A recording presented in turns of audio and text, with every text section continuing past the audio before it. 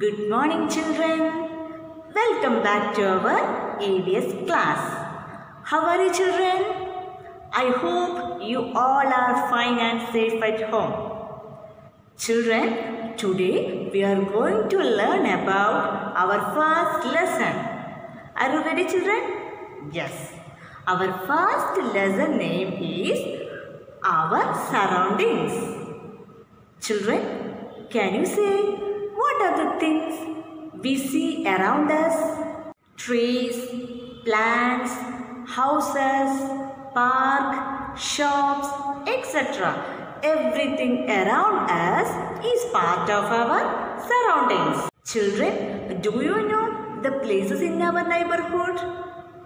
Now, I will tell you about the names of places in our neighborhood. Children, do you know the neighbors and neighborhood? The people living near our house are our neighbors. We must help our neighbors in need. The area around our house is called our neighborhood. There are many places in our neighborhood.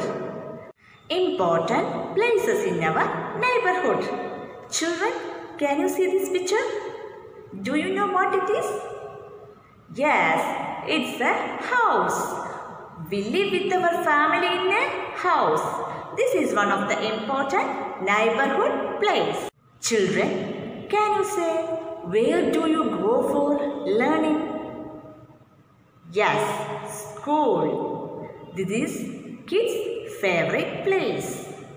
School is the place where we learn to read, write and other good things. Third one. Children, where do we go when we are sick?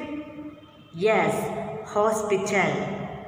Hospital is the place where we go when we are sick. Doctors in the hospital take care of sick people. The doctors and nurses in a hospital take care of patients. We can also get medicines from the hospital.